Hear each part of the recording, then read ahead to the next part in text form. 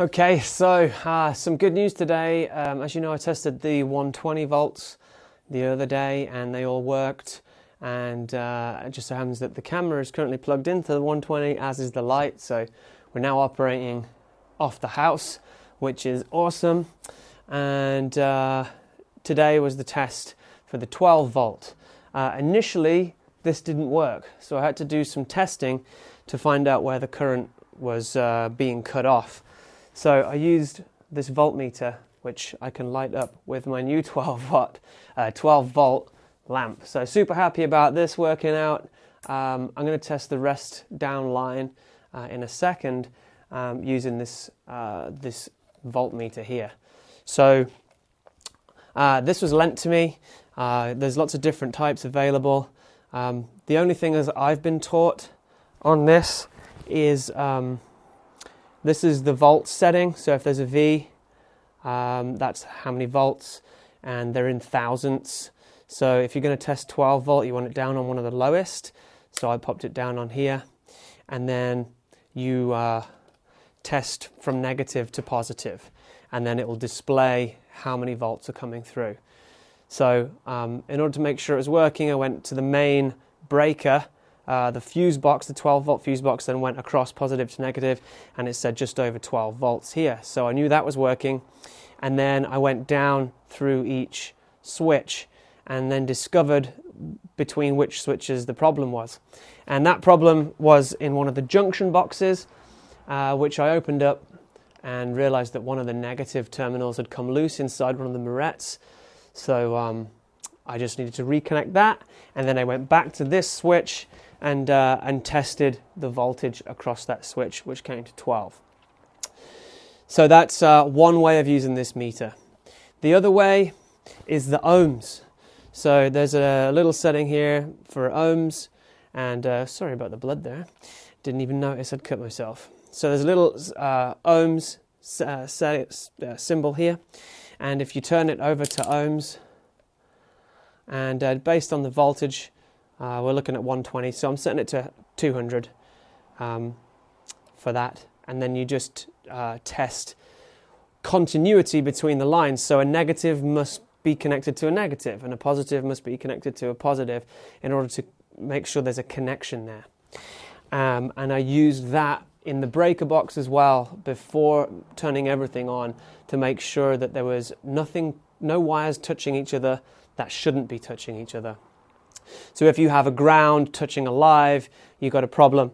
If you've got a, a, a negative touching a ground, you might have a problem as well. So you just need to make sure there's no content, like there is continuity between the wires that need continuity.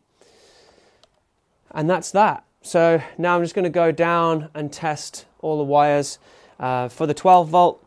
So I'll switch it back down to here and then I'll show you how that appears. So this box here is going to be for a light and I need to test what the voltage is across these wires. Now this is operated by a switch so I need to uh, make sure the switch is on. Now there is no switch on the circuit, just a bunch of bare wires. So let's show you for instance, if I just uh, connect this negative and because this is 12 volts, I'm totally safe to touch the wires here. Let's just make sure this is in shot here. If I was to touch across these, there's a very slight uh, reading, but nothing. We're definitely not near 12 volts. So this is the switch. Um, there will be a switch across here, which is simply a toggle switch, and uh, we can simply twist those wires together uh, which basically acts as the switch. So now the switch is on. So now we've got the switch connected, let's test it.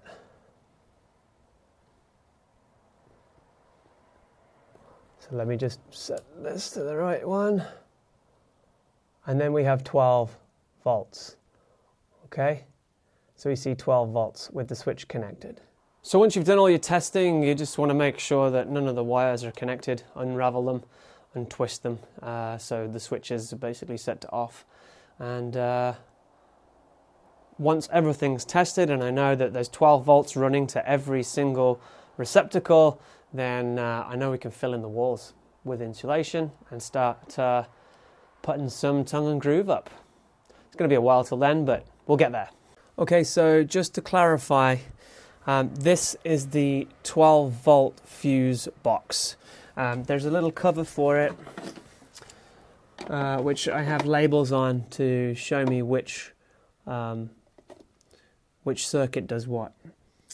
Uh, so I have the fans to the bathroom coming from this one. This is the left side of the um, tiny house lighting system, and this is the right side lighting system. So they're all running off. Uh, there's just the one circuit for all the lights on the on the right side.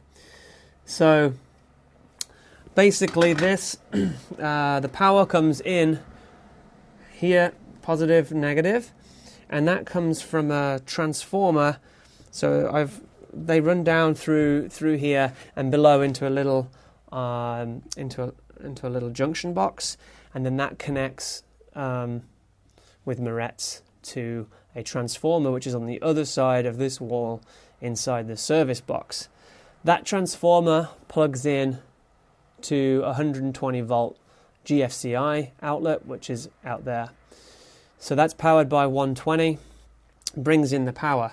So to test that there is power coming through this and the right amount of power, you know, I'll use the uh, use the the meter, and we just connect it between the positive and negative. So let's see we can, if we can make this happen. So I've got the red one connected to the bottom there, and then that one to the top. It doesn't matter which way around, but there you go. You see 12 volts, 26. Okay. If you're seeing crazy low numbers or something, you might have this on the wrong, wrong setting. Um, you might see this. So you just need to make sure that it's on the right one. I've got it set to 20, which is the closest to 12. So I'm just looking at it that way, and then we go into millionths or whatever, thousandths, whatever these refer to. Um, this is just the volt measurement, okay? And then ohms, which I talked about earlier over here. So the volt measurement to see how many volts run through the circuit. So we've got 12 volts, that's awesome. And then I can test to make sure the circuits are running. I only have one uh, fuse in here right now just to test each circuit at one at a time. But if I test this one, so positive to one of the negatives, I can see 12, 25, so I know that that circuit's working. If I test the one above, it's got no fuse in it, we don't see 12 volts.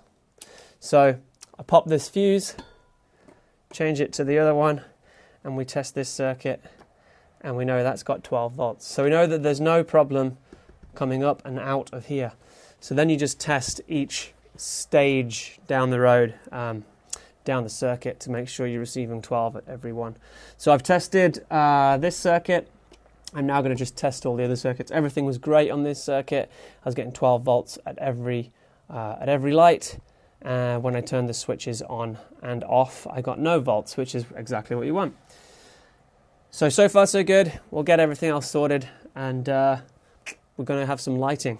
Okay, uh, so I'm super happy. Everything works, um, including the three-way switch as well. Um, so um, I'm going to show you that, um, how it worked successfully. Uh, so let's have a quick look at the three-way. So I'm using toggle switches because I just think they look cool instead of using the standard switches.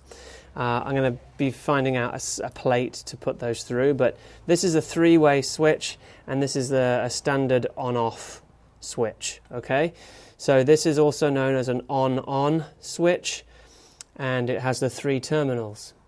So the terminals are wired such that these two, uh, the red and yellow, is one circuit that joins to the other switch. So they join to the other switch, and then this black one runs up to the light.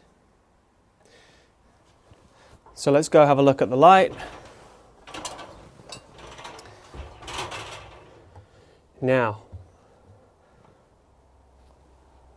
this white, uh, white wire with the red and yellow is the main feed, okay, from the power. So this is coming from the fuse box uh, and through all the other lights.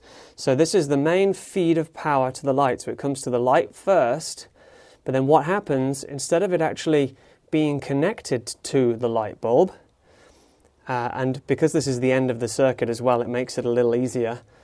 So the, the main power, the red, comes in, and then I pigtail that to go down to the switch. So this one is alive, that continues down. Um, I have a junction box here, but it, it, it, it, di- it diverts past that because this just goes straight to the switch along here. So there's a switch in the bedroom along there, which I'll show you connects to the the middle one here. That's the power. So the power runs to the light and really just feeds this.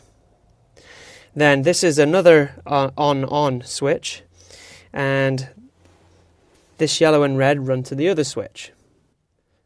And then, so the power will come through this switch. If this is set to, let's say that takes the power through the yellow cable, then that yellow, the power will be sent down the yellow cable to the other switch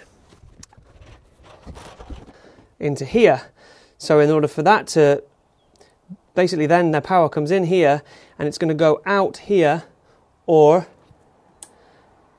not out there at all.